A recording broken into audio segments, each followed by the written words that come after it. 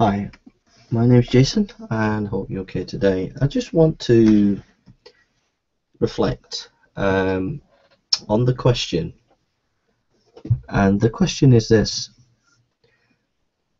Are the miracle stories really based in history or are they mythological embellishments? And that's what I want to think about.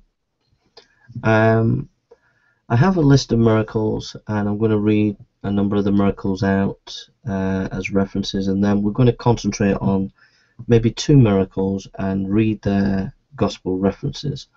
And maybe then look at some other ancient miracle claims. Um, and just reflect on it. And I, I, don't know how this is going to pan out. Um, I'm going to look at it from as a sober historian's point of view. I'm going to come at this uh, as a historian and I'm going to try and look at this in an objective way. And that's what what I hope to do uh, and what the, the outcome is. I don't know what the was going to be so it's it's open-ended. So I'm just going to invite you to as Christian atheist just to be open-minded and to reflect um, on these gospel narratives. Uh, okay? Okay, let's come before the Lord. Lord, we come before you today and we confess our failure and we confess our sin. And Lord, we acknowledge how much we need you today, how much we need your grace, and how much we need your love and we give you the praise and the glory today. And we pray that you be with us now as we think of this very important subject in your name.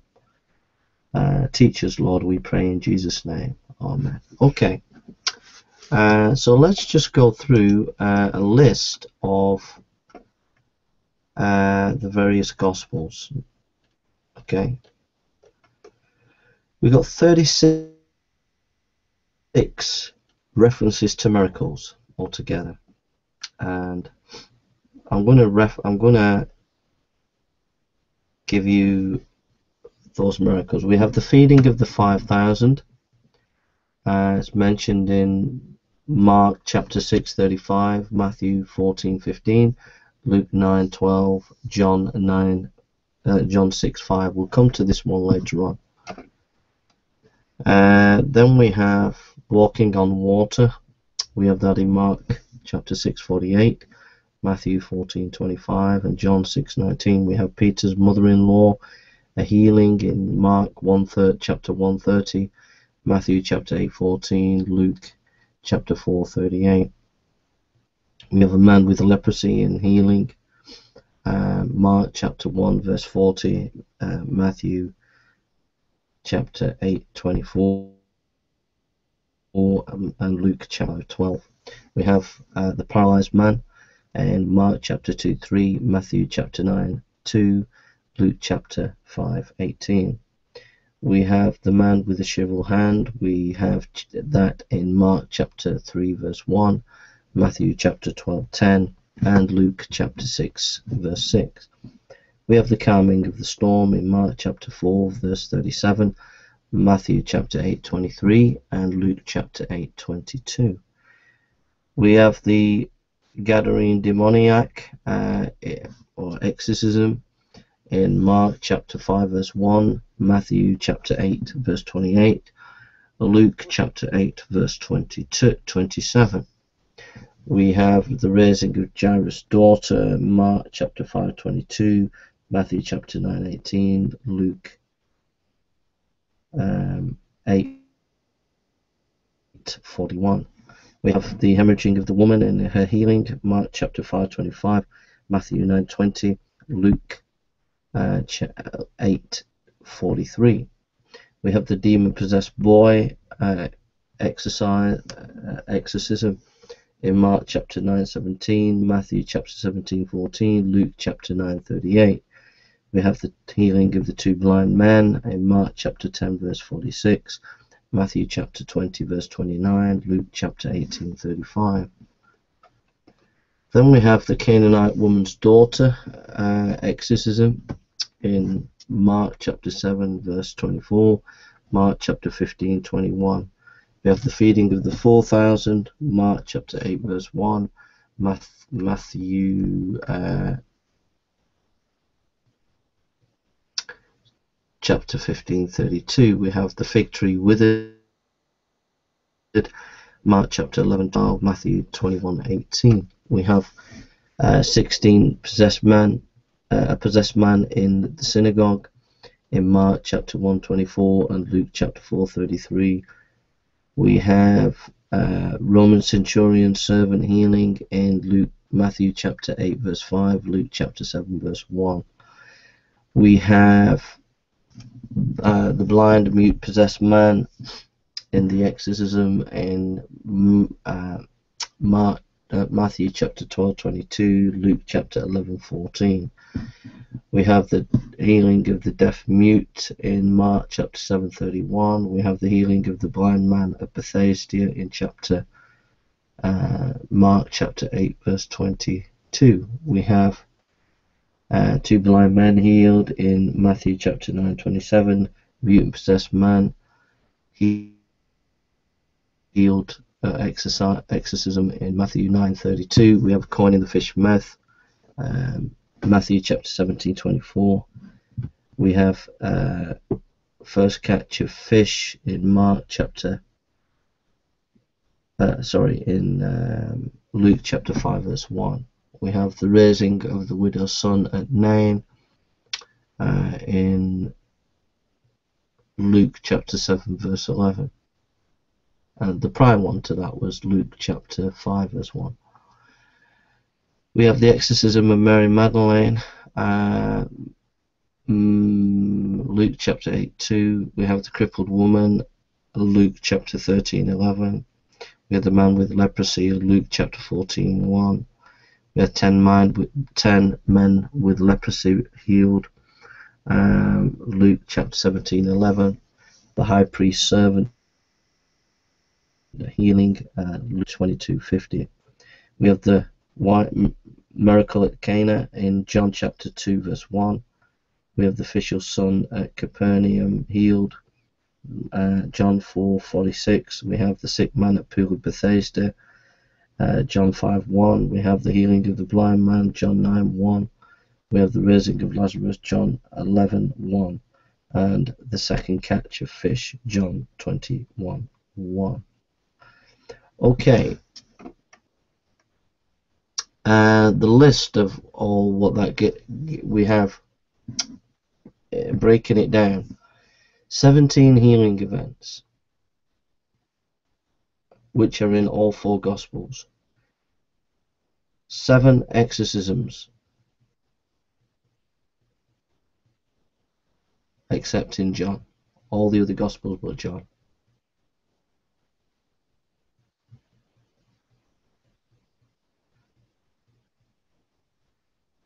Three precon pre three precognitions except in the Gospel of Mark.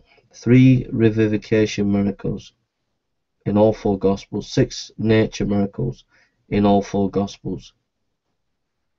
Uh, creation of matter, defiance of gravity, control of thermal energy, i.e. calming of the storm, defiance of gravity, walking on water, uh, control of metabolic process, withering of fig tree, rearrangement of molecular structure, creation of matter, turning water into wine. Um, if you want to look at the list, if you go to uh, Christian Think Tank, uh, did the New Testament authors invent the miracle stories in the Gospels? And you can get the breakdown of the miracles there and I quoted exactly from Christian Think Tank. He allows you to use his material, but I quoted uh, the breakdown of 17 healings, 7 exorcisms is all from what he says there. Now, these are my own thoughts as I look at this list. Um, let's just type in here.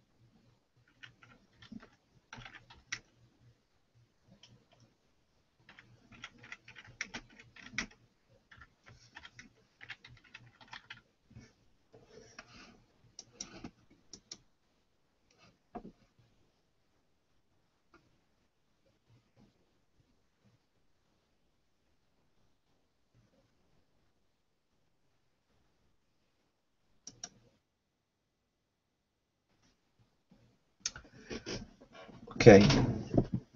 I'm trying to find. Uh...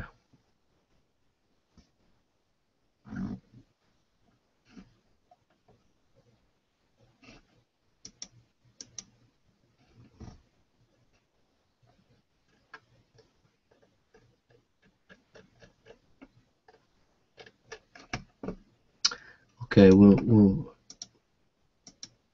we'll um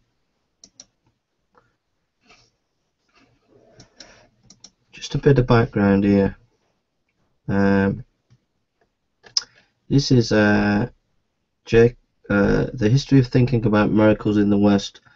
Jacob Paul Kowalski, uh, Kowalski, um, Phil. He writes we, uh, about the Roman, Greek Roman culture.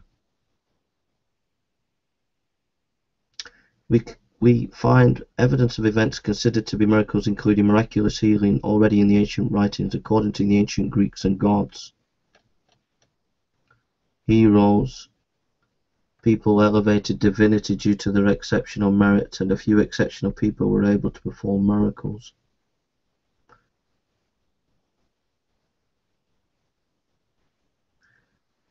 He write, in his footnote, he writes, only people who had special characteristics were said to be able to cause miracles. For example, they could have exceptional knowledge of nature, such as Pythagoras, uh, and Empedocles led the life of a saint, such as Apollonius of, of Tychion, be anointed or be an incarnation of a god. This tradition had its roots in the time of pharaohs revived in the Roman Empire and some modern monarchies. Um, I'll come back to that in a minute. The Greeks maintained that the world had not been created but had emerged from chaos or was simply eternal. The gods were believed to be just part of the world even if they did not have absolute power over natural phenomena. They had enough power to be considered by humans as causing miracles. Each god or hero had his own specific domain of activity. Miraculous healings were ascribed almost exclusively to Asclepios, Heracles, or Isis. The most worshipped among them was um, Asclepios in ancient Greece, his temple. There were about 300 of these were the destination of pilgrimages and the site of numerous healings. In Epidaurus in Peloponnese, many scriptures and votive offerings expressing gratitude for being healed were found. In addition, some philosophers such as Pi Pythagoras and um, Empedocles were believed to be Thoma, uh, thaumaturgic as well, although they themselves denied performing miracles and claimed that they simply knew nature.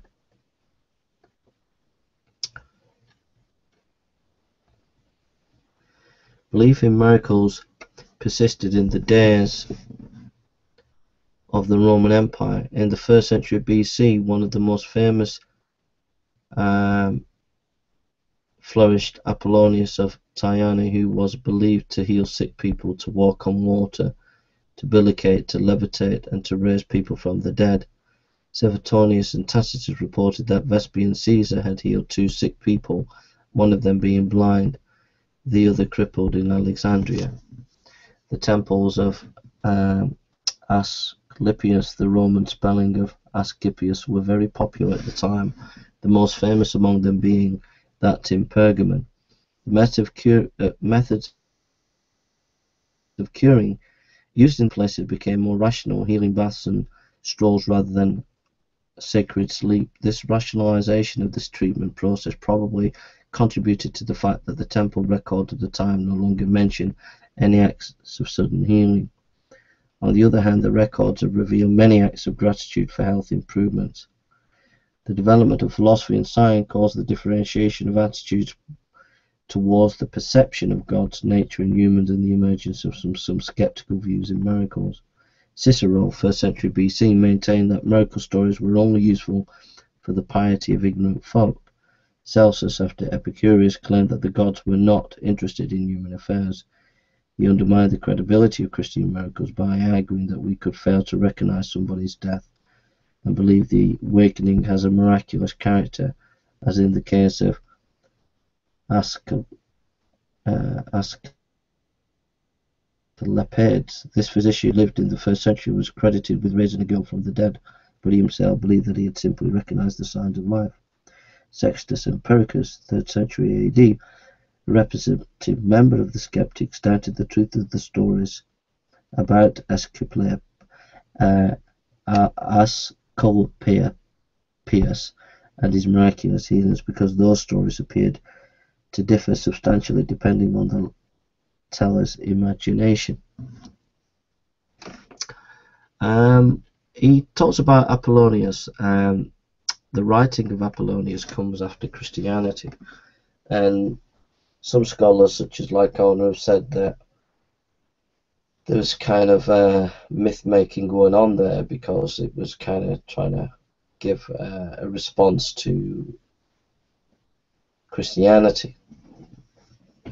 So doubts whether there's much historical information in there, but this writer seems to think that the information about Apollonius goes back to prior to the first century to uh, to uh, prior, prior to Jesus Christ, but I, I beg to differ on that.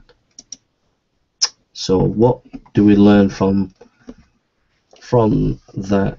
Well, we learn that in the ancient world there was um, claims of healing in the first century. Um, that there were temple healings going on. Um, so that's just part of the the culture of that first century. So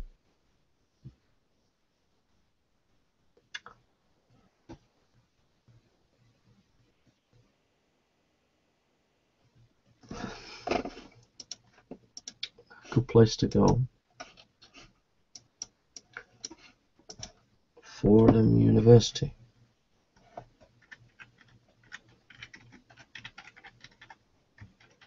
So what we're doing here, we're, we're just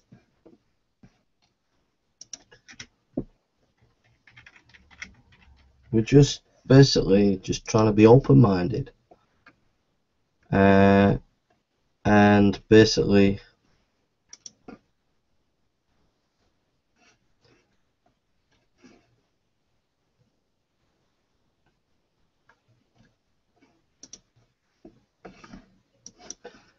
just trying to be open-minded and, and just look at uh,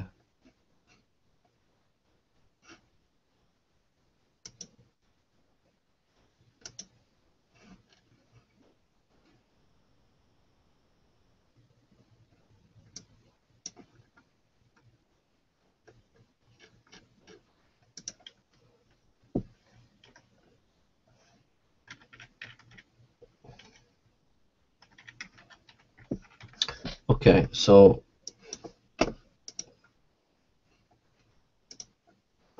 one of my favorite places. Right, so let's just look at uh, a couple. Let's just look, just just being open-minded. Let's just read Mark chapter 6:35. Okay. So the whole exercise of this is just to be open-minded uh, Mark chapter 6, 35.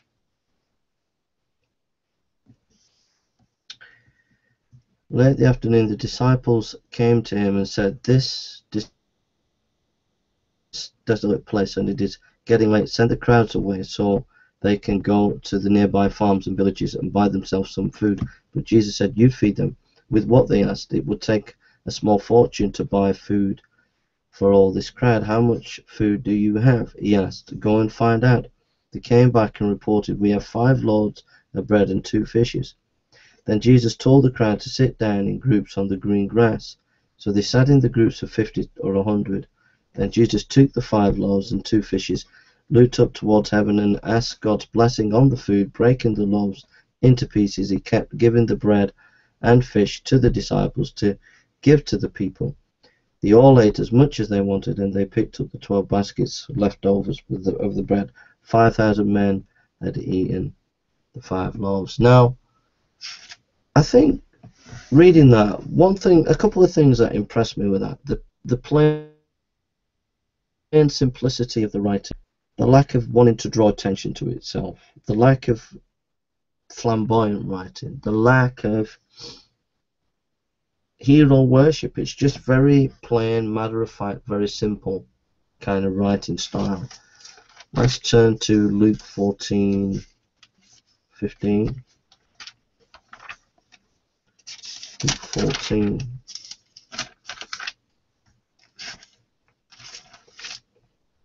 Then I want to break down in my own way uh, some thoughts. Uh, 14, 15. Hearing this, a man sitting at the table with Jesus exclaimed, What it would have to show. Oh, sorry. Uh, Luke. Four, uh, sorry, Matthew 14. Sorry, Matthew 14, 15.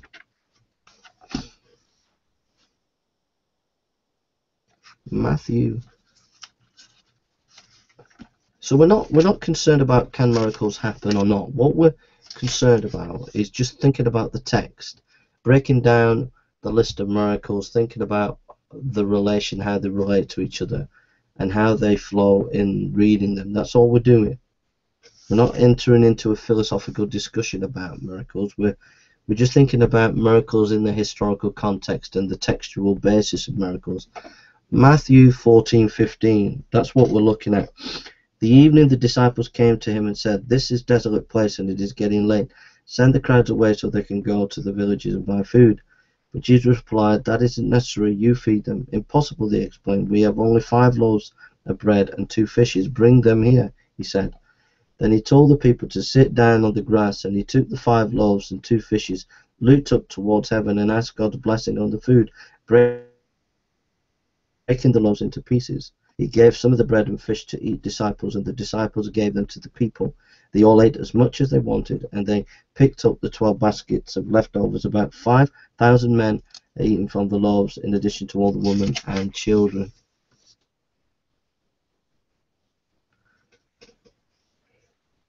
And then Luke nine twelve.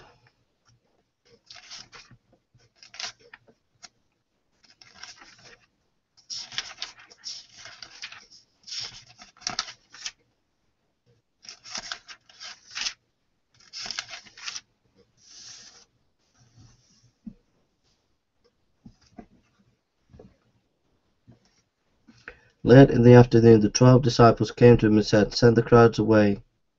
Jesus said, You feed them. Impossible, they protested. We have only five loaves of bread and two fishes. Or are you expecting us to go and buy enough food for this whole crowd? For there were about 5,000 men there, etc. Um, reading that, if I'm intellectually honest, to me, and, I, and I'm being intellectually honest, if it sounded not true, I would not believe it. But if I'm intellectually honest, to me, that sounds like an authentic narrative. It, it's obvious that each of the writers, this miracle impacted them and they've remembered it. And that's what comes across as you read it in a fair, honest way.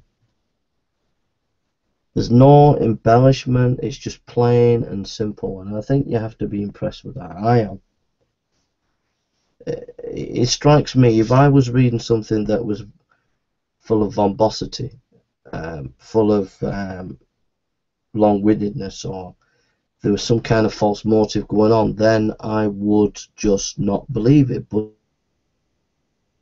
it's not doing that in the text. It's just coming across as very plain, very simple, almost un unassuming, but obviously pointing to something that really affected the disciples. Um, now, let's just break this down, right? I'm going to go through each one, uh, just thinking about it. Now, you've got four references to the feeding of the 5,000. If you're doing historical verification, if you've got three historical references, that's good. So you got four references. You got three references to the walking on water. You got three references to man in leprosy, three of the paralyzed man, three of the shriveled hand, three of the calming storm, three of the Gadarene demoniac, three of Jairus' daughter, three of the hemorrhaging of the woman, uh, three of the two women of the blood. And then you have Mark and Matthew uh, verifying uh, the feeding of the 4,000, the fig tree. Um, you have uh, Mark and Luke verifying um, the possessed man in the synagogue healing. Um, you have Mark, Matthew, and Luke verifying uh, the Roman centurion's servant, the blind mute. Uh, you have Mark on the deaf mute. Uh, you have the blind man at Bethesda in Mark 8:22. You have Matthew verifying two blind men, mute and possessed man, and coin in the fish mouth. So that's 9:27, 9:32, 17:24. And you have Luke verified in the fishing catch of the fish, raising widow's son, exorcism, exorcism of Mary, crippled woman, meant with dropsy, two men with leprosy, high priest servant, and wine miracles at Canaan, miracle son at Capernaum, sick man at Pool, all in the Gospel of John. Now, what I find interesting what comes to light when I look at the list of the miracles, you'll find a massive block of three lots Matthew, Mark, and Luke, all verified miracles. You find two miracles verified, sorry, uh, one miracle verified by all four, and one miracle verified by all three except Luke.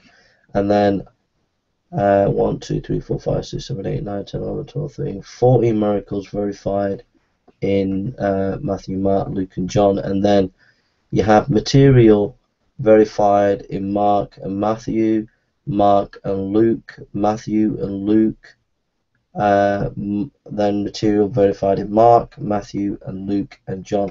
What it's all telling you is very, very clear.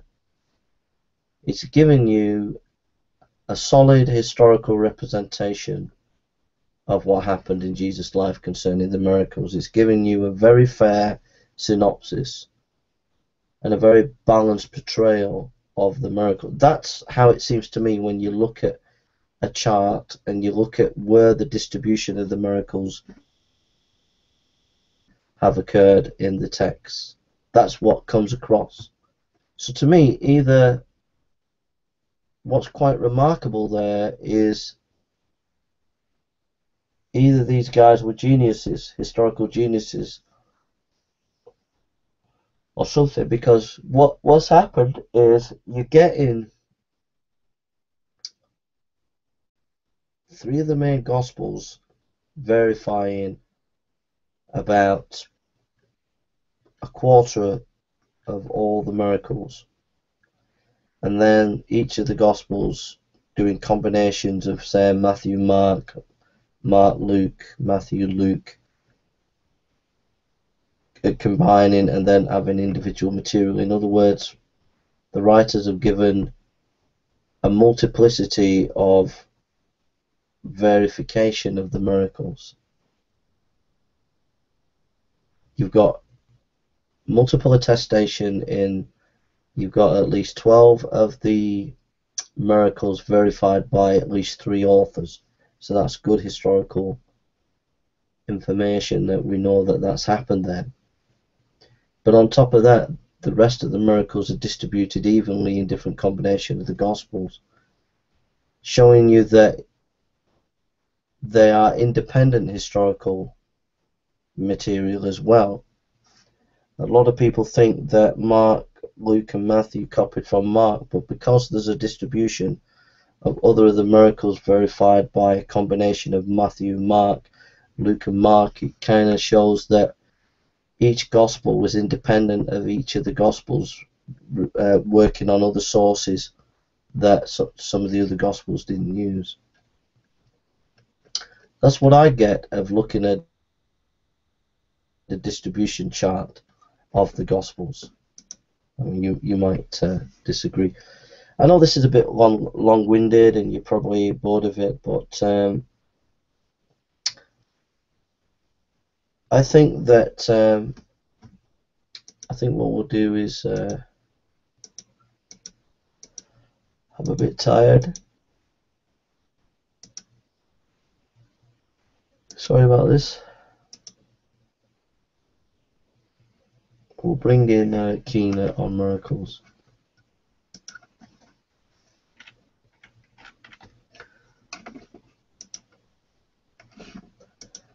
Really, really getting a bit tired now.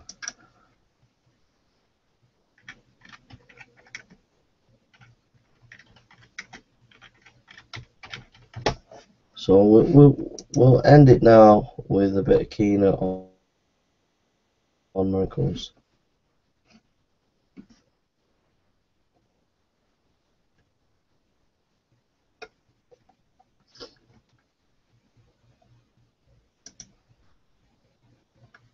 We'd like to thank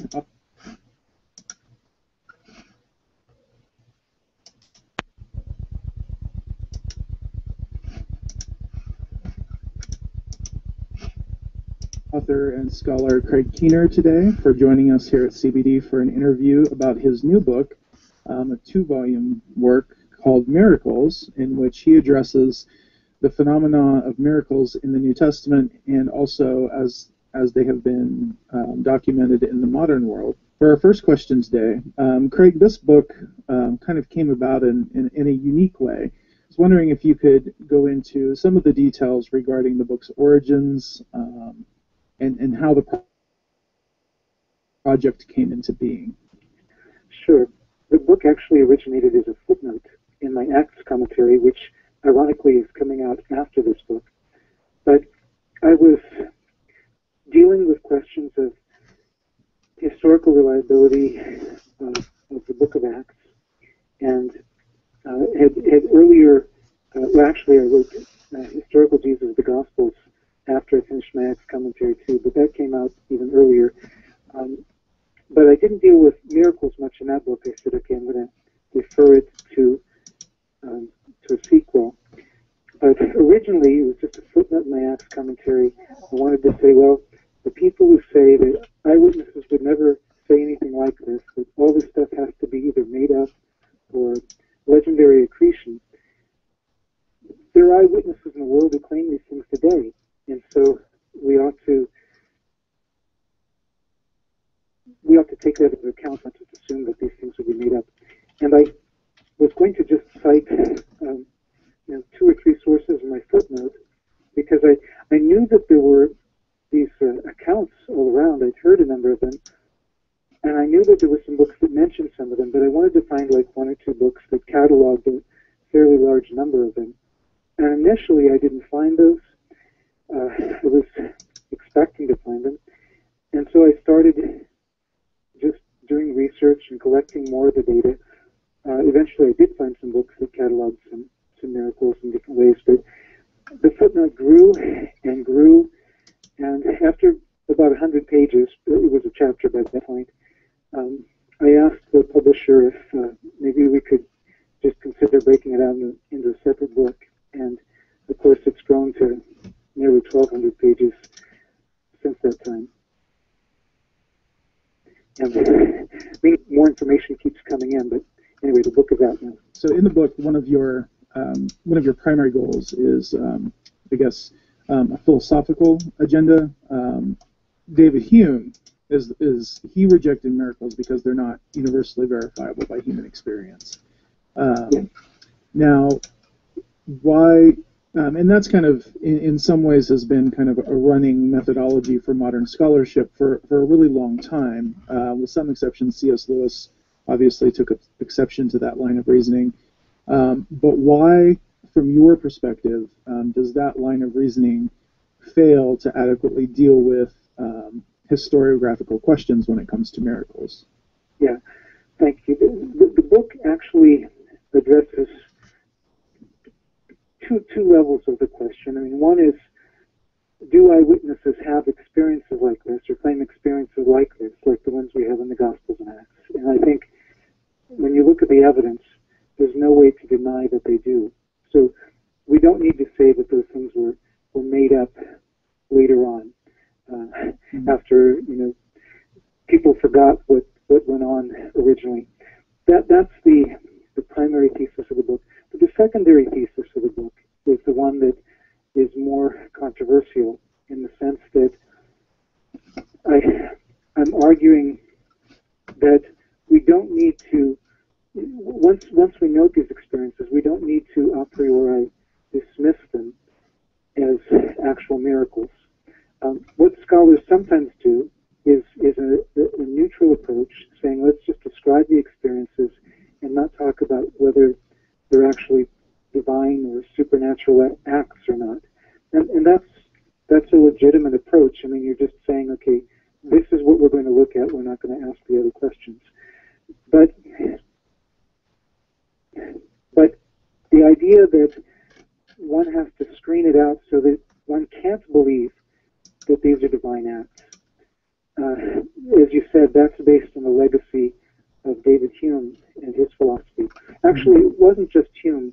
Uh, it was an argument that circulated among the deists, and Hume kind of uh, abbreviated, he condensed uh, some common deist arguments of his era. Some of the uh, debates about what Hume meant are because his his essay is so short on the subject. Um, but it, when you read it in the context of the deists, then it, a lot of the points make more sense.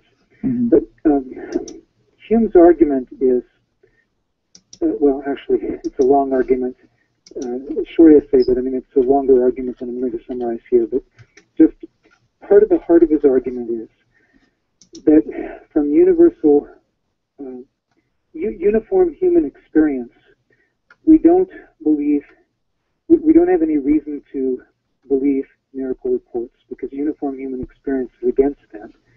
And uh, what we can extrapolate based on natural law is from this uniform human experience. The problem with Hume's argument, he got away with it in his day, although some people did try to call him on it, uh, his argument is circular mm-hmm. because he assumes human experience to be uniform and uses that to exclude miracle claims that actually show that human experience might not be uniform. He, he does it even with some, uh, in, in, his own day, uh, well, earlier than his own day, um, Pascal's niece, Blaise Pascal's niece, was uh, healed of a, an organic running eyesore. It stank. Everybody knew about it around her. She was instantly and publicly healed of this. There were many witnesses, the Queen Mother of France and her own physician to verify it. Hume cites this and then says, okay, well, this is better attested than any miracle we have in the New Testament. But since we know that miracles don't happen, this really didn't happen, and therefore uh, it just shows you that even when you have good witnesses, miracles don't happen. It's right. an entirely circular argument. Right. So miracles don't happen because they can't happen. Right. And they can't happen because they don't happen. Right.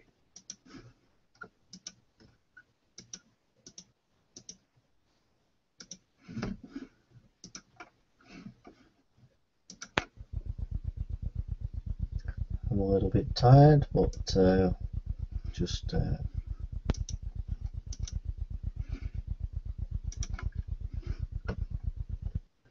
book is really addressing two different kinds of questions. The first question is a historical question, because some scholars say that, well, all these accounts of miracles in the Gospels and Acts must have arisen through legendary accretion, because they say we know that eyewitnesses never claim miracles. that question is very easily answered because hundreds of millions of eyewitnesses do claim miracles. We have overwhelming evidence for that. So if anyone denies that, their head is in the sand. The other question is a bit more complicated because it involves whether or not such acts, when they happen, are acts of God. Now, I believe that they're acts of God. I'm a Christian. But in my earlier days, when I was an atheist, that would have been a very surprising notion to me. So people come with different presuppositions. And because of that, part of the book is just addressing whether uh, these uh, surprising healings and so on are acts of God. And I argue in the book that we have considerable evidence for such acts.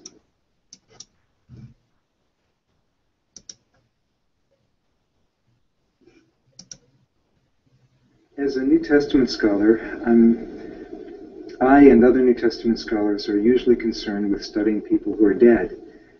Um, in this case, however, I wanted to bring in evidence from people who were alive.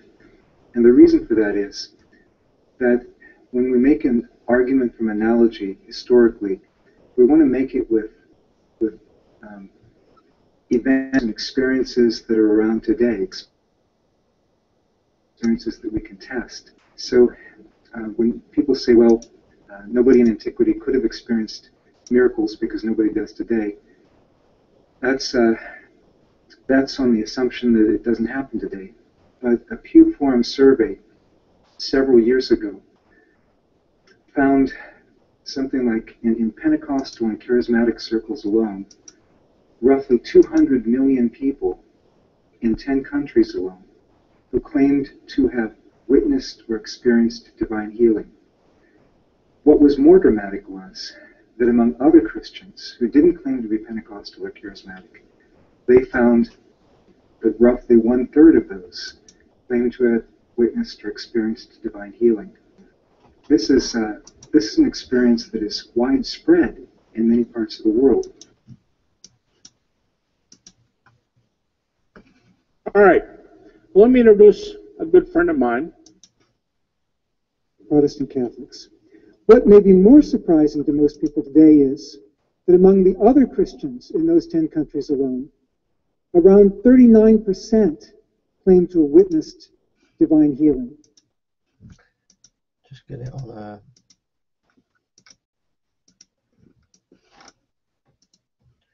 See if it doesn't flash on on that. It seems to be flashing.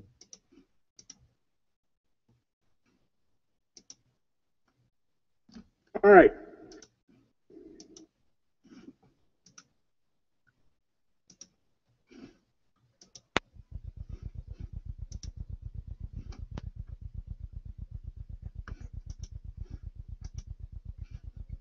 And, and over in that corner, the, the very lovely one is my wife. Many church fathers claimed to be eyewitnesses of healings and exorcisms that were converting many polytheists. In fact, Ramsay MacMullen, and he seemed reluctant about this in an interview I heard, but, but he documents that in the third and fourth centuries, the leading cause of conversion to Christianity was healings and exorcisms. And it, it continued through the, through the later church. Uh, there are a number of stories we could tell from Augustine. Augustine originally believed these things had died out for the most part. But he retracted that later on in his writings. City of God 22.8, he gives a, a, a, list of miracles that had happened in his own diocese, uh, some things that he had witnessed or experienced. I talked about uh, within the diocese healings of blindness, raisings from the dead, and so on, that they had collected over 70 affidavits of different uh, healing claims, and he knew of other people who hadn't turned in the data. I'm going to just concentrate on certain kinds of healing claims for the sake of time, but we have a, a large number of reported healings of blindness. I don't want you to get the wrong idea. We have far more people who haven't been healed of it than who have been healed of it, but uh, that's that's a different kind of subject. We're talking about about miracles. So um, one of the accounts I have uh, one of my one of my students at a Baptist seminary where I taught before I taught at Asbury was uh, Paul Mokake, who did his master's degree there and then his his DMin. And he had a number of reports for me, but um, he had gone back to back to Cameroon, and one of our other students, Yolanda McCain, who was from Philadelphia, went to visit Cameroon, and she was there when Paul prayed for someone who was blind and they were able to see. And so she came back and she was telling us about it. So I asked Paul, and he said, "Oh yeah." And, but he had so many stories.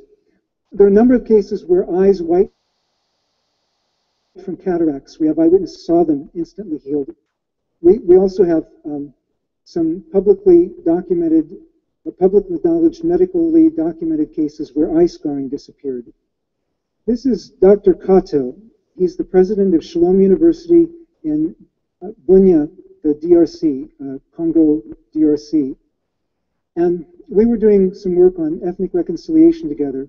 So I asked him uh, one day, since I was working on the miracles book, by the way, do you have any miracle stories? He said, well, yeah, years ago, when we were out doing evangelism in a village, a few of us, they brought to us a woman who was, who was blind. And so we were asked to pray for her. And we'd never done that before. But we said, well, we came that God's name might be glorified. So let's just pray and see what God might do. And they started praying. And after about two minutes, this woman who was, he thinks, in her 60s, she, she started shouting, I can see, I can see, and began dancing around. Um, and she remained sighted for the rest of her life. A friend of mine, Flint McLaughlin, who was director of the Cambridge Business Institute, he was uh, in India with some other people. I consulted uh, one of them as well. And he prayed for a blind man with clouded eyes. And the man was instantly healed. This is the field where he ran in circles praising God. And here is where the man began to weep as he was coming to give his testimony that night. And someone asked him, Why are you weeping? He said, I've always heard the voices of the children, but I've never seen them before. I'm going to give some accounts of raisings from the dead, because normally people don't consider people to be psychosomatically dead. so I'm just going to give a few samples. So some of these in the Church Fathers. Uh, Wesley, in his journal, now this is not something that was recorded a long time later. This is recorded at the time of the events. He prayed for somebody, Mr. Meyrick, that he believed was dead, and the man came back. Uh, we have we have scores of these testimonies obviously, again, most people who die stay dead, but this is just saying we, we do have some exceptions. A pastor in Mumbai shared with me this, and this isn't one of the strongest cases, but since I'm using PowerPoint, I'm using the ones where I have pictures. So, believers found a Hindu boy, Vikram, lying at the bottom of a pool at a retreat center where they were visiting. And so, two of them took him to a hospital where they pronounced him dead. They took him to another hospital where they also pronounced him dead. But an hour and a half later, they came back. Uh, while the believers were all praying, they came back with the boy alive. And these pictures are from him after they brought him back alive. He said that he heard the name Jesus and then was rescued. His Hindu parents said he's never heard that name before. And this is a picture of them joining in the worship service of the Christians afterwards. This is a testimony. It's not featured very much in the Miracles book because I met the person afterwards. Um, this is uh, Yusuf Herman, and I have this picture because he's the one who put me in touch with this other person. Uh, he knows the person very well. But I put this picture first to remind me to warn you that if you get queasy at the sight of blood, you need to close your eyes uh, until further notice, or at least until uh, you can tell I've moved on to another topic and forgot to tell you. This is uh, a person you can see he was dead. His, his neck was cut. Um, actually, they'd moved his body. There was more blood in the field where he was. But they, they cut his throat. The way they were transporting him to the hospital obviously was not very good for a body that would be alive either. These were pictures from the news. Uh, I have the, the news report, and I took, took these out of the news report. Uh, in this case, it required medical intervention, but he had a, he had an, an NDE. he had an experience of heaven, and then um, um, when they were getting ready to pronounce him dead and send him to the morgue, he said, "I'm still alive." Said, oh. So they, they started working on sewing back his neck. Uh, I was I was giving some of these accounts, and there's so many so many more of these but for the sake of time, I was giving some of these accounts at a Society of Biblical Literature meeting where I was not trying to persuade people of the supernatural. I was simply saying, you know, our, our reading strategies maybe we could learn something from the majority world where they don't find these an embarrassment, but they can resonate more with these stories that we have in the New Testament because look, we have stories like this today. And after I'd finished, um, Ayo Adewuya, who's a, a professor now in the U.S., but he's from Nigeria originally, he stood up in the back and he said, I have one of those stories. My son was stillborn, and the midwife and I prayed for 30 minutes, and my son came back to life. And his son has now finished a Master of Science degree at the University of London. Again, no brain damage in any of these cases, no brain damage. Another another account, uh, just because I was working the miracle. Wow.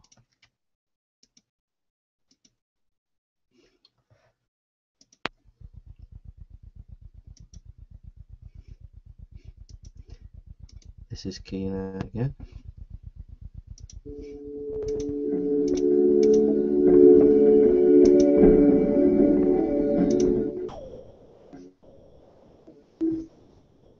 Just wanted to kind of reflect on what this process has been like, the research and writing it for you. Um, how has writing this book affected you?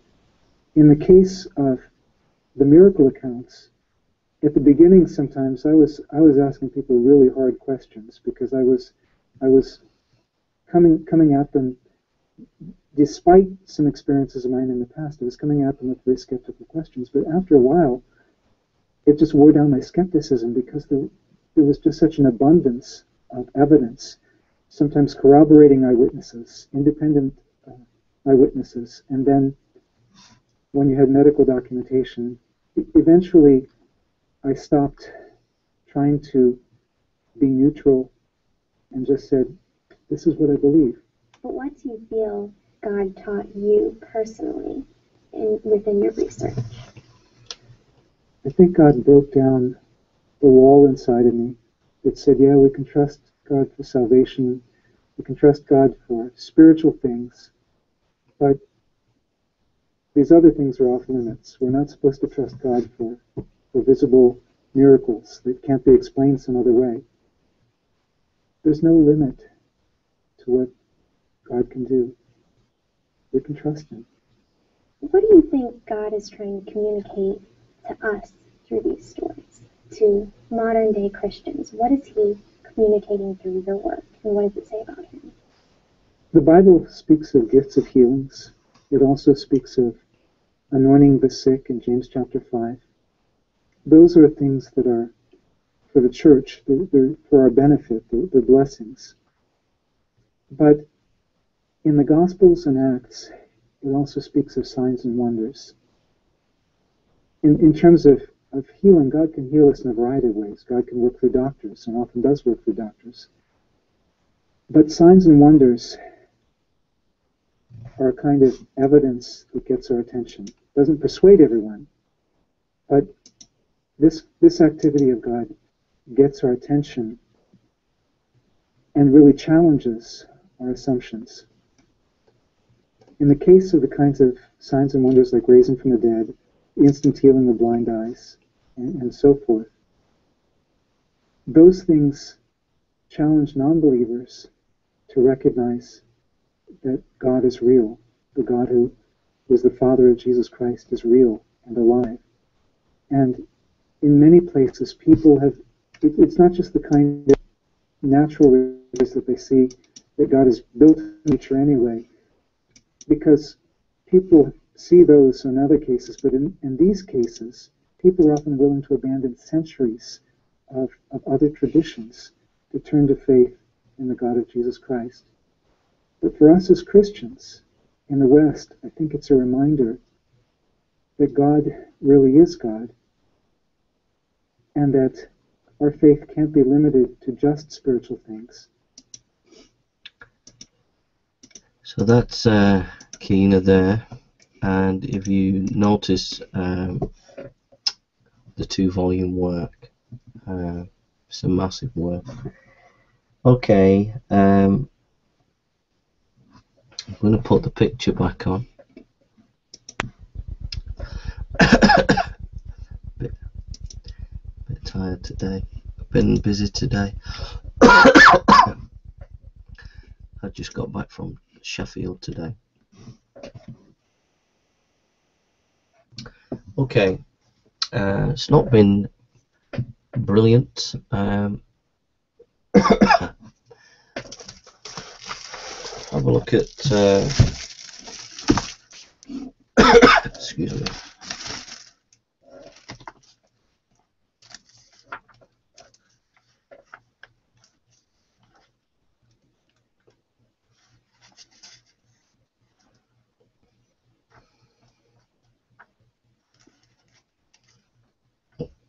Excuse me.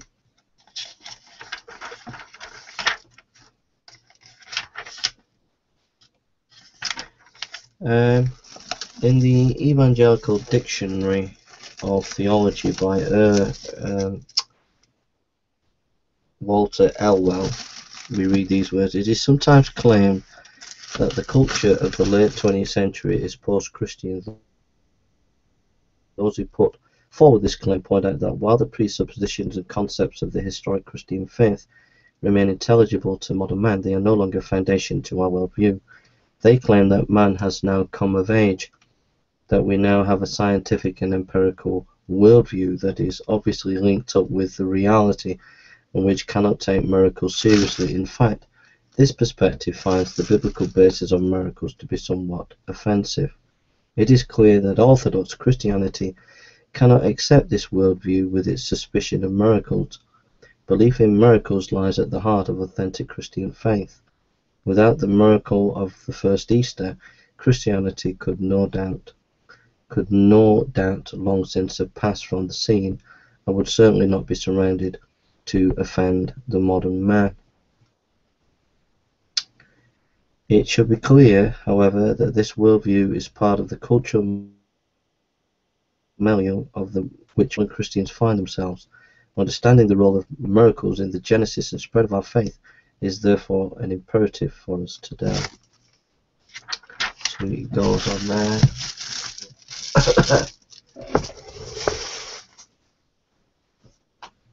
Marshall Pickering Encyclopedia of the Bible. Let's see, we got miracles here.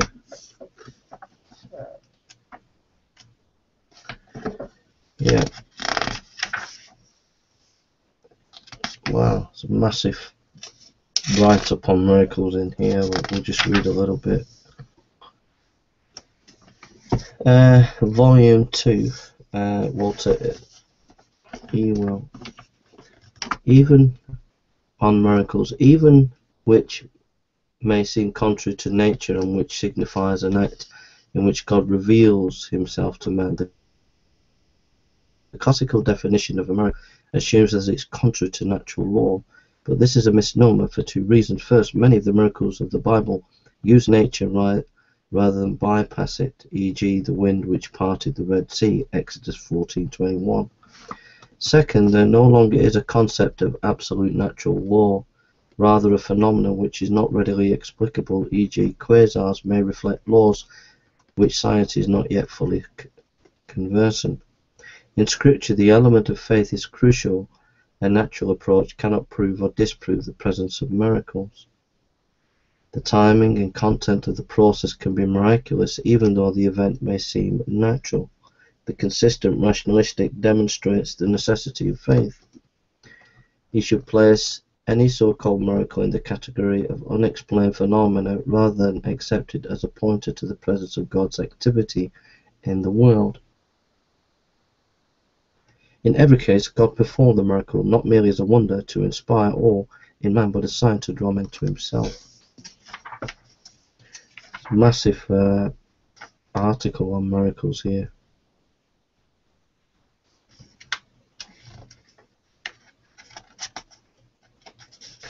We, have been reading the Gospels, um, so we'll read what he has to say about the Gospels.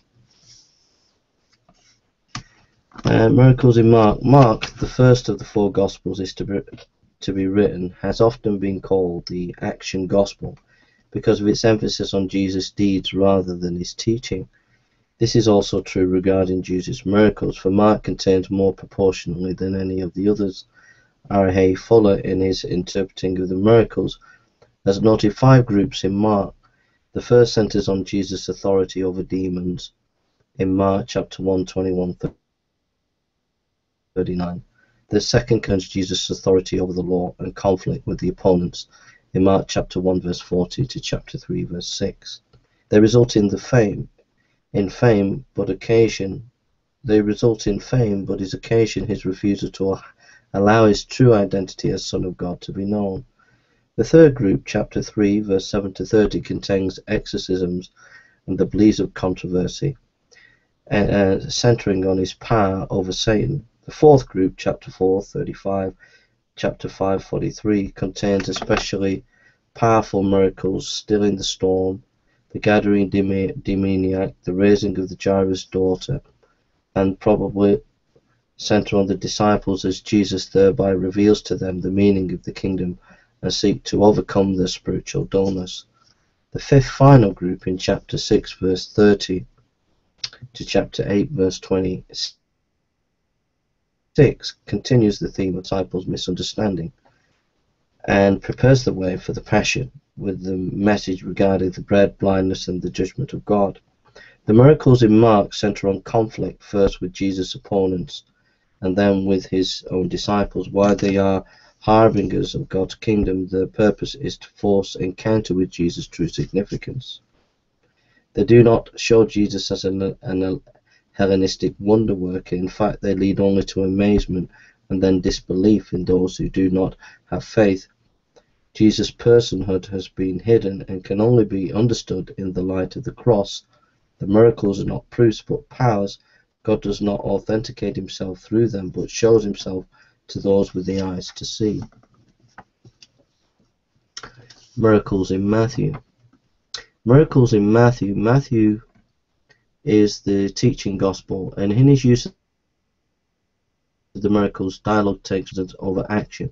Matthew compresses Mark's narrative in order to make room for didactic material Therefore his stress is on the theological implications of faith rather than the results they contain. Matthew's group of miracles are isometric to teaching passages in keeping with the general his general practice of combining narrative portions and organizing them around didactic sections. The first group, chapter 8 and 9, combine miracles from Mark's first, second, and fourth group and stress Jesus' significance as the servant of Yahweh who exercises sovereign power and forgiveness of sins. The secondary theme teaches discipleship and shows the awakening faith of the disciples and their involvement in Jesus' ministry. The second group, chapters 12, centers on his authority over the law, the man with the withered hand over Satan, the Beelzebub controversy. The third group, chapter 14 and 15, parallels Mark's fifth group but has different purpose. Rather than conflict and decision, the disciples are seen in positive guise, actively involved in the Master's work.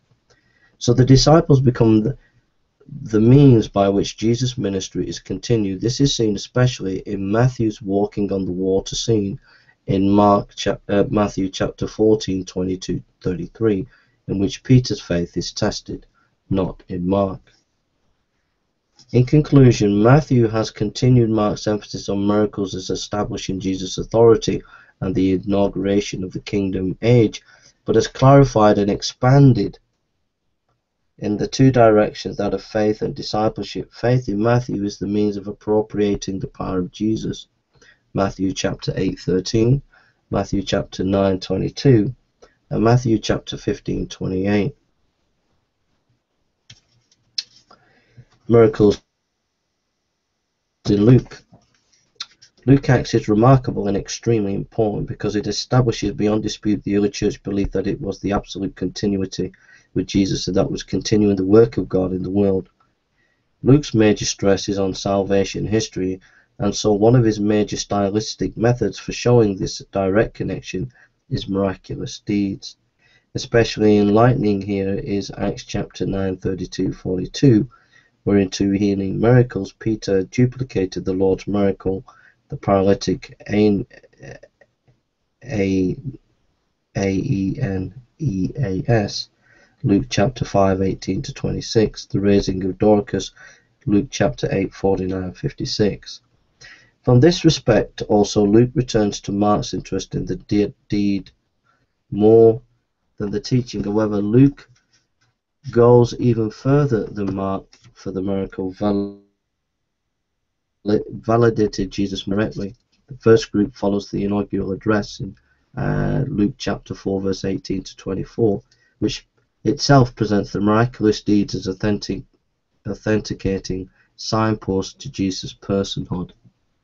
They center on Jesus' power and authority in Luke chapter 4, 31 to 41, and validate God's power in Jesus in Luke chapter 5, 17 to 8 to 39, as well as faith in Jesus, see in the prayers motive, uh, Luke chapter 5, 25, Luke chapter 7, 16, but especially in Acts chapter 9, 35, Acts chapter 13, 12, Acts chapter 19, 17. So that's uh, the Marshall and Pickering, Pickering Encyclopedia concerning miracles. Sorry. And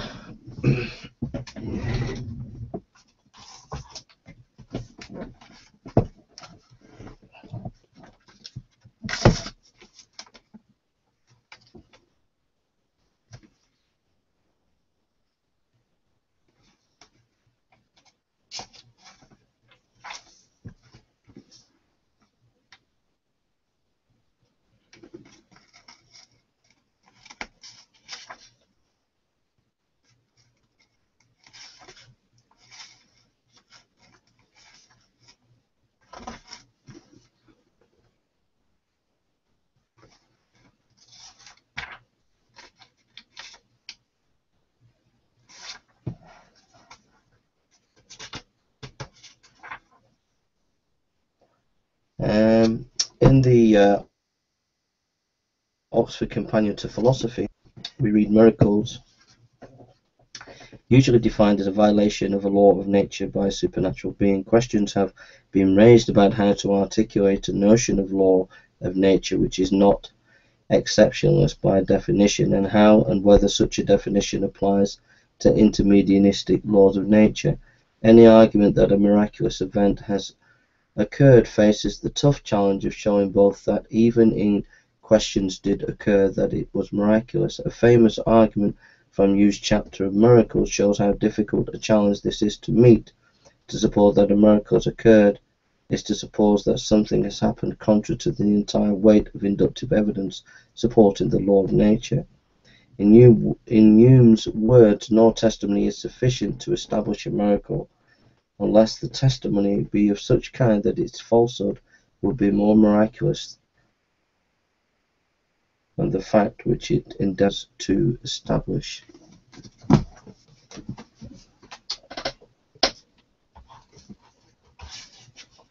Well, we, we said we wouldn't get into the philosophical, but um,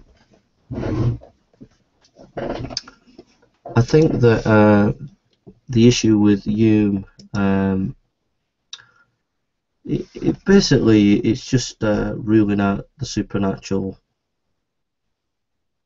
in a dogmatic way without you know we you, the uniformity of nature we we can't we, we, we don't know um, all the facts of nature so we, we don't know if if God can break into something or not if we're a skeptic uh, so if we don't know if God can break into history or not, then we just have to be open to the historical data. That's the only honest procedure. To rule out and to put so-called extraordinary uh, evidence as a burden of proof is just unfair. I think that we just have to be open to to any evidence that that presents itself, uh, especially in history, and um, it, it's about being open. Really, I, I think that's the basis, uh, and then it's whether that evidence is consistent with your worldview. I suppose those are my thoughts on that. Um, what I found interesting reading the uh, Baker Dictionary uh, encyclopedia is how each of the collection of miracles in each of the Gospels was chosen for a purpose. So you had the more conflict in Mark, you had the miracles that expanded dialogue and teaching in Matthew, and Luke emphasized the miracles emphasizing salvation. And I think um, we often forget that each gospel does have its perspective on Jesus. Now, the question would be well, are the gospel writers biased? Well, yeah, every historian is biased, and so each gospel was writing according to the perspective that he wanted to write. Uh, but that doesn't mean to say that we can't know history. Um, just going to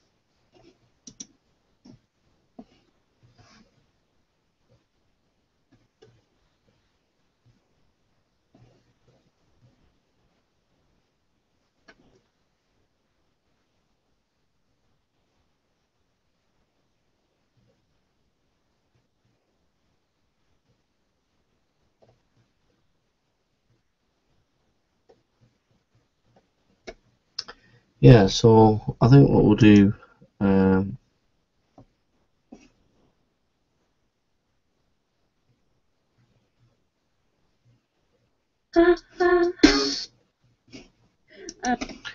we've been looking at it all from one-sided perspective, so we'll, we'll put a skeptic on now just for a minute. And this is Richard Carrier, so uh, you listen to him for a minute while I get some ancient miracles from Greeks and Um, Romans. our next speaker is one of the original people who came to Skepticon 1, and he's been back ever since. Um, Richard Carrier, here we go.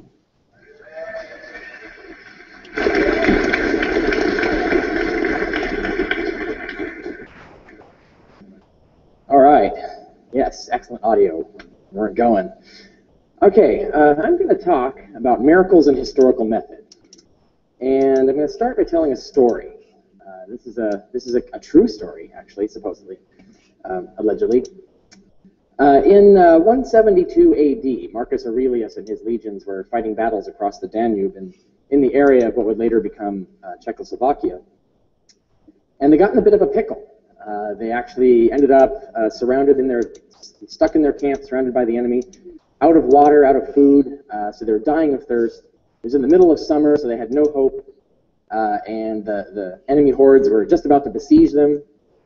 And so, of course, you know they were they were praying to all the gods and demons and devils they could. And suddenly, the sky filled with dark clouds, and a torrential rain poured down and the, the massive rain was so devastating that it was crushing and destroying the enemy.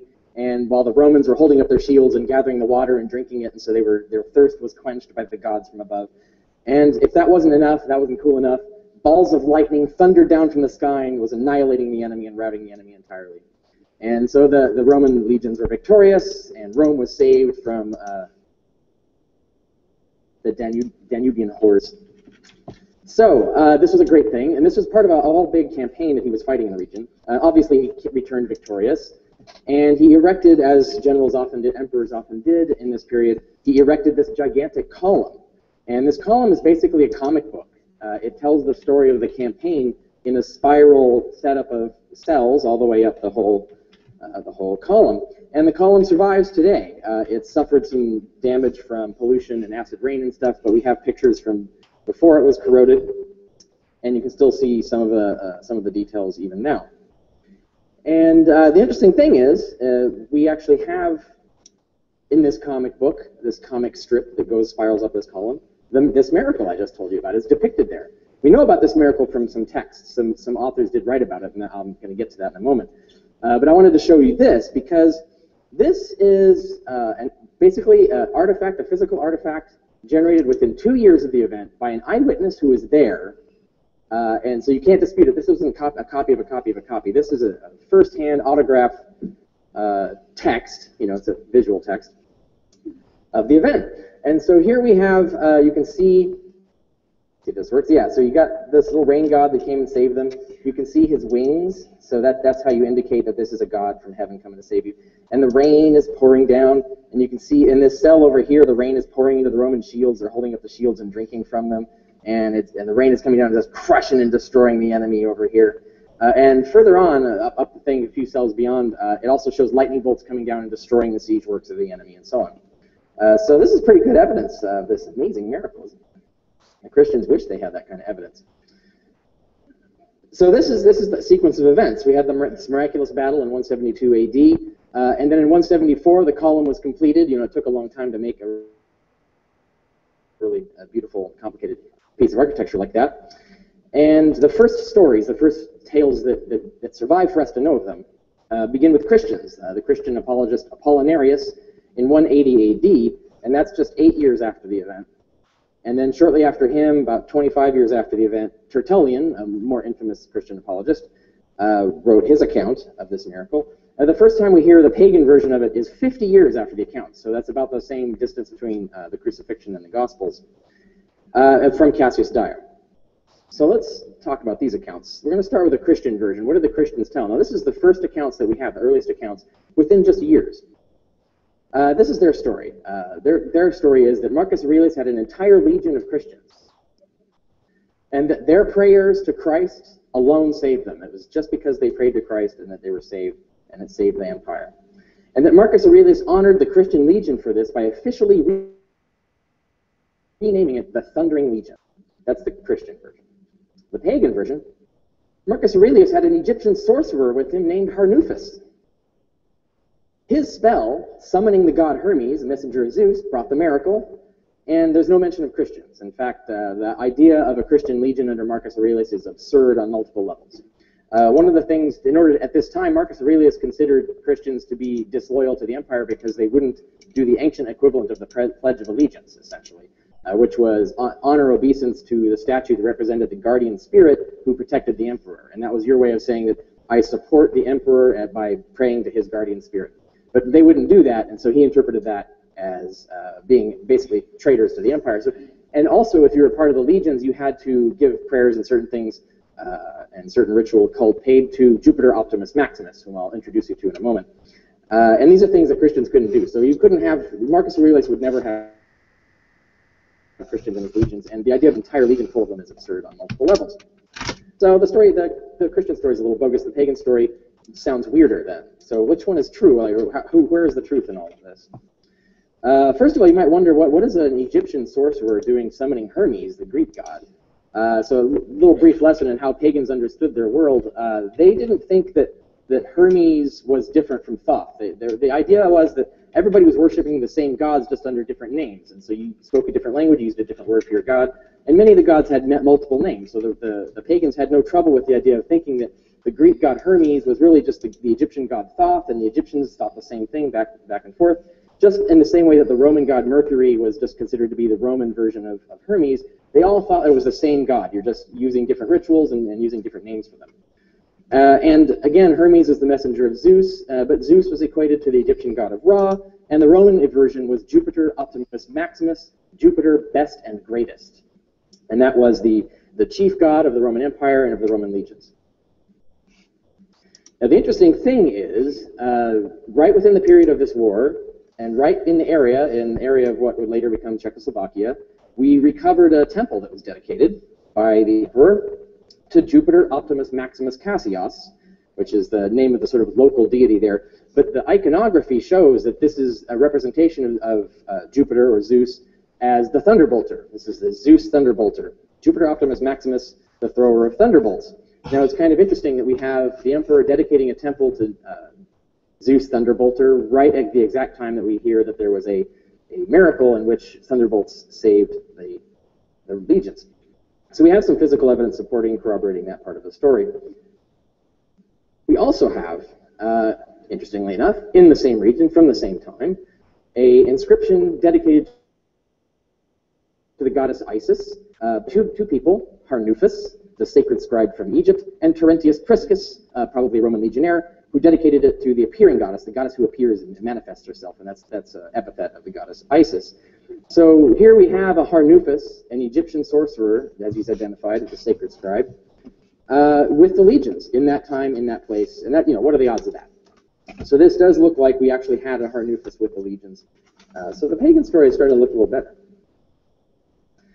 Now, another thing that happened uh, right after the war, as soon as he got back, uh, as soon as he returned from these campaigns, he uh, instituted, uh, Marcus Aurelius instituted coins. He started coining some uh, special currency honoring something. Uh, we, can, we can guess and infer what. but the legend on the coin was Religio Augusti, which means the religion of the emperor. And it depicts on one side the bust of Marcus Aurelius, and on this side that I'm showing a, a drawing of Hermes standing in an Egyptian temple. So what are the odds that the emperor would suddenly start striking coins honoring Hermes in an Egyptian temple as his religion uh, for? Not only did he do it immediately after returning, but the coin issue stopped as soon as the column was dedicated. So it was issued from the December of 172 AD until 174. So here we have uh, more physical evidence corroborating the pagan account. Now let's stop. Let's top that off with one more interesting thing. You know how the Christians said that he renamed the legion the Thundering Legion because of this great miracle that they did? Well, it turns out, you know, funny thing, funny story. Um, over a hundred years earlier, we know that this legion was already called the Thundering Legion, uh, and this is another inscription from Egypt, incidentally, from Thebes, Egypt. Uh, another inscription by some uh, some officers and NCOs of uh, the 12th Legion, that was the legion responsible, and it says right there, the 12th Legion called Fulminati, Fulminati, the Thundering Legion, and they date it. The inscription was made in the 11th year of Nero, which is 60. 4 AD. So we know this legion had been called the Thundering Legion for ages and ages before this miracle occurred. Uh, so strike one there for the Christian account. So every aspect of the Christian story is refuted by the evidence. Every aspect of the pagan version is confirmed in the evidence. Yet the Christian legend arose within just a few years, a few years, not decades, a few years, and it prevailed. In the Western Middle Ages, the the um, the pagan version was forgotten entirely. The only version that was known in the Western European area was the Christian version. It completely eclipsed and won out. Uh, and the only reason we know the pagan version of this is because one dude in the Eastern Byzantine Empire preserved one pagan historian who just happened to mention it, uh, just that one text. And so we only found that found that out when those texts started creeping west uh, after the Renaissance. So, uh, so that, that's an interesting piece of facts there that you can use to compare uh, with the way Christians talk about things. Now, what, what are the what?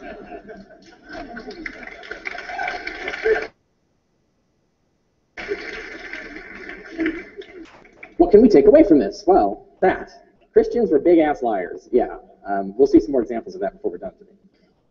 Going to talk about Herodotus. Uh, let's go back. This is before the Roman Empire. This is back in classical Greece. Herodotus was a well-known uh, historian of the time. He became one of the most read uh, historian class texts in ancient schools later on. He's born in 485 BC. He wrote around 430 BC, give or take five years, about the Persian War, which occurred in 479 and 480 BC. So roughly 50 years. He's writing 50 years uh, after the events he's recording. So it's roughly, again, the same time between the Gospels and the events the Gospels claim to describe. What does he tell us about? Well, there's certain amazing things happened during the Persian War. Uh, one thing was this really incredible defense of the Temple of Delphi, which is considered the center of the universe and one of the holiest sites. It's kind of the Greek equivalent of the Jerusalem Temple, the closest thing they had to. Uh, and this is Delphi. It's a picture of the ruins of Delphi today. And so what happened at Delphi is the Persians were going to assault and capture Delphi, the holiest city of, of, the Greeks. You know, this is this is the most biggest embarrassing thing that could happen. Uh, but they couldn't take it because you know why? Because Delphi, the gods defended Delphi. There's literally the armor and armaments that were uh, dedicated to the temple got up of themselves and walked out and fought the Persians. And uh, there was also um, lightning bolts came down and struck them, and, cl- and cliffs cliffs miraculously started collapsing and crushing the troops as they tried to get up. And so Delphi was preserved. And so I want you to picture, like, look here, uh, try to picture it. Animated armaments fighting. You know, this would be an awesome movie, by the way. But uh, I just want to go back to uh, Richie Carrier there. Um, first of all, what strikes me, I've always I've every time uh, Richard Carrier makes a quotation uh, on an ancient document, when I've checked it out, he's always wrong. Uh, just to note that whenever he, he quotes ancient documents, I found him not notoriously to be inaccurate in his quotations. Uh, so I would check anything that he said out before you actually take it on board. Uh, he often uh, quotes things out of context. Uh, he said that Christians are big ass liars and about how um, uh, the whole historical situation that he was describing. Um, the thing that strike, strikes me there is um, that he says that the Christians would have twisted the whole thing, but here's the point: they were in the ancient text. They were in the ancient text, and so therefore um, is is misapplying uh, information there, saying that there was a particular on the historical event from the Christian perspective. And that's all I have to say there. And uh, I think that I, I kind of find that Richard Carrier has a, an agenda where he's so desiring to deconstruct Christianity and critique Christianity that he doesn't actually engage with any scholars who are different. And he tries to um, just paint his own perspective without actually engaging with people who, who, who disagree with him. Um, the whole thing that struck me though with the historical event that he described is there was no eyewitness accounts. Uh, I know he'd probably go on to Herodotus and, and talk about that, but here in Luke chapter 1 we, we read these most honourable Theophilus, many people have written accounts about the events that took place among us. They used as their source material the reports circulating among us from the early disciples and other eyewitnesses of what God has done in fulfillment of his promises. Having carefully investigated all these accounts from the beginning, I have decided to write a careful summary for you to reassure you of the truth of all you were taught. So Luke's saying that he is basing his accounts on eyewitness material. Um,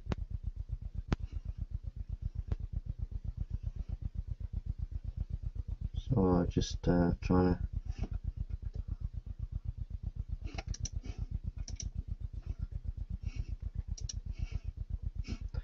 This is one of the great scholars of the New Testament. Professor Hengel, in recent years, some authors have suggested that the four New Testament Gospels were only uh, popular or they only gained their authority many centuries after Christ and for political reasons. Is there any evidence for that? Not at all. This is all invention.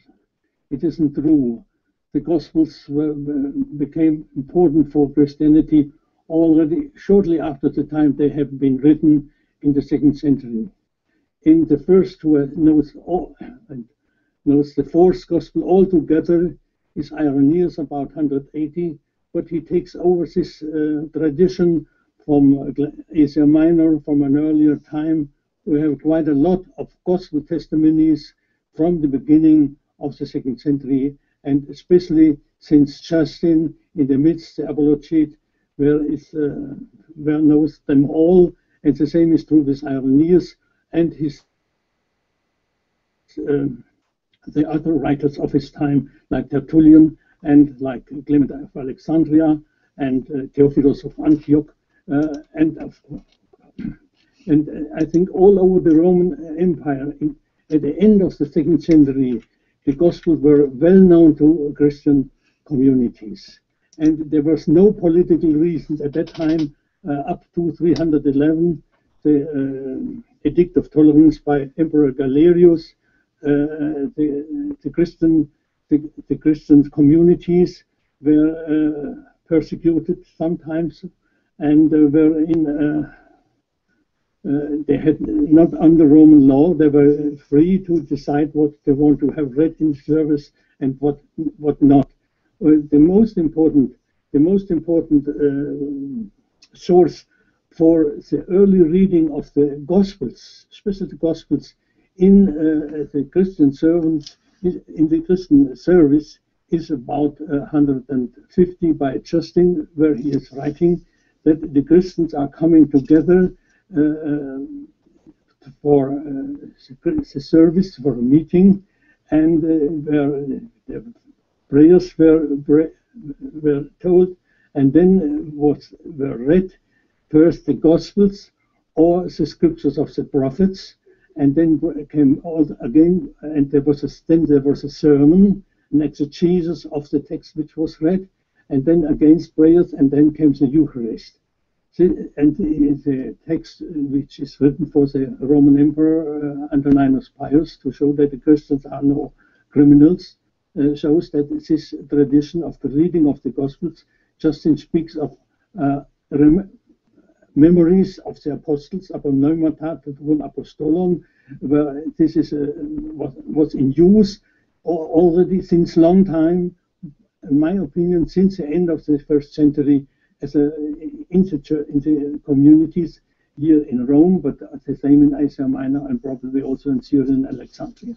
So the idea that there were perhaps 50 different Gospels and and our four Gospels of the New Testament were just lucky to win the day, that's nonsense. That's what you're saying, is it? There, there were, of course, later Gospels, apocryphal Gospels, quite a lot, and many have found, but the four Gospels we have are the earliest witnesses we possess and there are not earlier gospels. Uh, we, we, we have we have older sources already. Luke is um, uh, mentioning sources he used and uh, sources from eyewitnesses, but we have no older and better gospels than the four we have, which are already in use in uh, in Justin in the midst of the second century, and quite clearly in Irenaeus. Uh, already Justin writes in his dialogue um,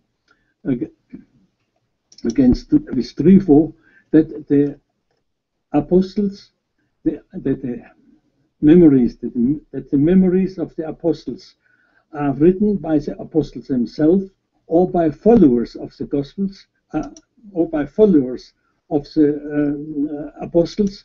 And this shows already the apostles are for, uh, for uh, Justin, uh, John, uh, Matthew, and John, and the followers are Mark and Luke. This leads to the next question I wanted to ask you. Um, some have said that the Gospels were originally anonymous and that the names Matthew, Mark, Luke, and John were added to lend them weight. This is quite improbable. First, the Gospels were written all for the open reading in the Christian service, in the worship, and uh, the, therefore the people who are hearing, the most are uh, unliteral, they couldn't read, and therefore the, the text was read aloud just now in our services. The people must know what text is read. The same is true with the Old Testament text. They all have uh, the Old Testament books, all, all has titles. Either with the author, like in the book of the prophets, or, uh, or Moses was thought to be the author of the first books of the first five books of the Bible, or a book of uh, contents, maybe uh, the, the, Psalms or uh, the wisdom of Solomon, like that. And so from the beginning it was necessary, because for the Jews and the service, that the gospel had titles. This is one first important reason. And we know from Justin that the people knew what, uh, the, what who the authors of the gospels are. And the second uh, point is that if the Gospels were written anonymously, uh, then uh, they, later they had put, the title upon it. Uh, the question is, who has invented this title? There was no uniformity at that time in the church, and if there were anonymous, anonymous Gospels in the different communities, there should have been different titles. But the title titles are uh, uh, all, the same from uh, I think at the end of the second century, there is uh, identical with Irenaeus in Lyon and with Clement in Alexandria and with Theophil uh, and uh, Serapion in Antioch and of course in Rome and with Tertullian in uh, in uh, Carthage in Africa. Well, I think the titles were identical. Can I ask why were these four Gospels so important to the first Christians? Because they were the main, the unique source for the deeds and the words of Jesus and his passion. Because they brought Jesus to the first Christians.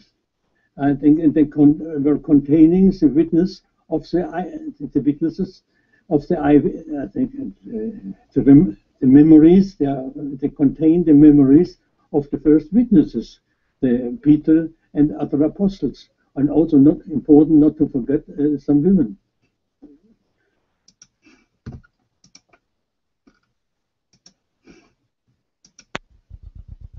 Professor Hengel, in recent years, some authors have suggested that the four New Testament Gospels were only uh, popular or they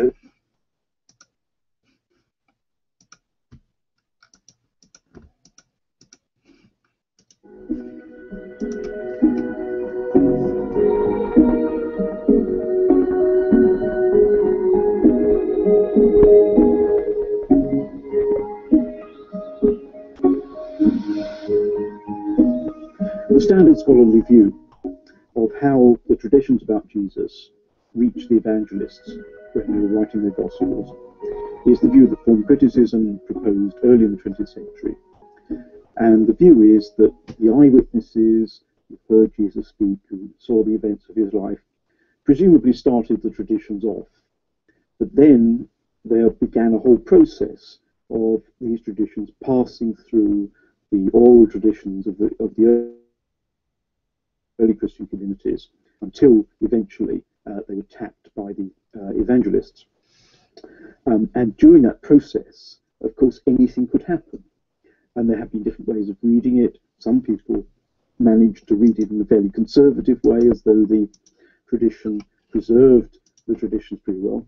Um, but the form critics um, and the real disciples of the form critics tend not to think that because they stress that the communities and the oral tradition was not really interested in history.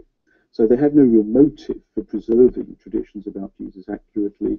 Their motives are much more to adapt and add to and kind of create freely uh, traditions about Jesus um, and add them to the traditions. And, and that's why, on the form critical view, you need, if you are going to say something about the historical Jesus, you need criteria to distinguish authentic material gospels from inauthentic material. Um, and that's the way a whole lot of gospel scholarship has gone. It's been very widely agreed now, I think, that the gospels were biographies in the sense of ancient biography. Um, this has been debated, but that's becoming the prevailing view, I think. Um, not in the sense of modern biographies, of course. We have to rule out all kinds of things that modern biographers do. Um, the kinds of things an ancient biographer did uh, are what are appropriate to the Gospels. But further than that, I think we have to see them as contemporary biographies in the sense they were written while there were still eyewitnesses around. Um, and this is extremely important because the way the ancients thought about history, writing of history, is that you could only write good history um, within living memory of the events. Um, and they distinguished real history in that sense. Real history has to be contemporary history.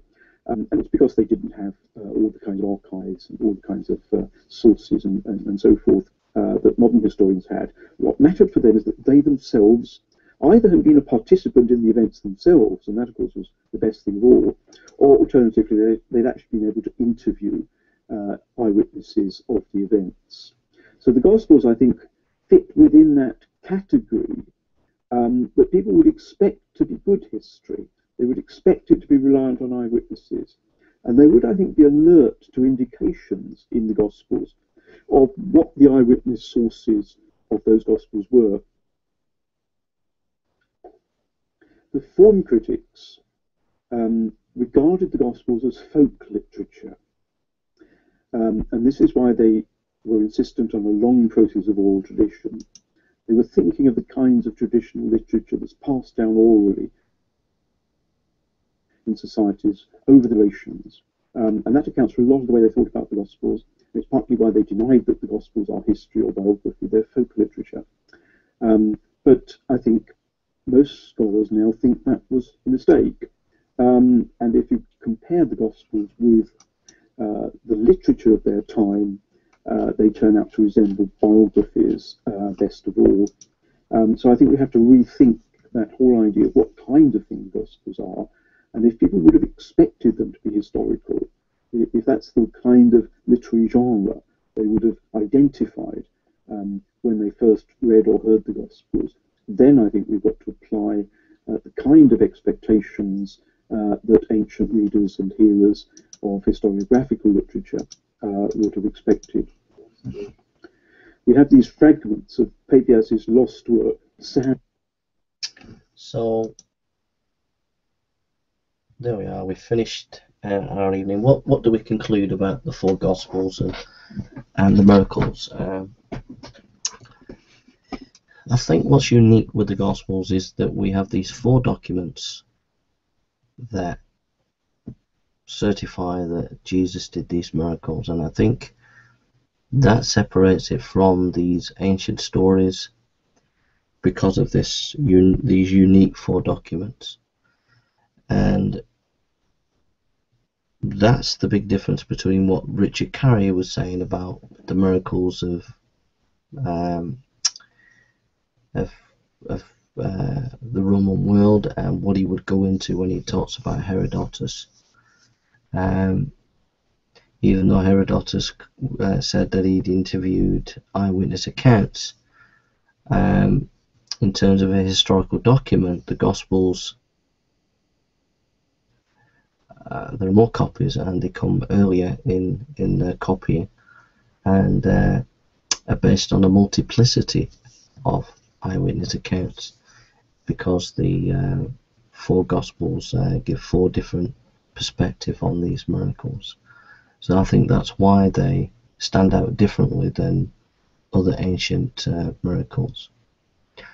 Uh, we looked at Keener on miracles and his work. We listened to an atheist, Richard Carrier, and we've listened to Martin Hengel and Richard Bauckham, which talk about the gospel um, the Gospels and the nature of the Gospels, why the Gospels are early historical documents. Um, and uh, with that, it's time to go to sleep now. And thank you for coming, and may God bless you. Take care.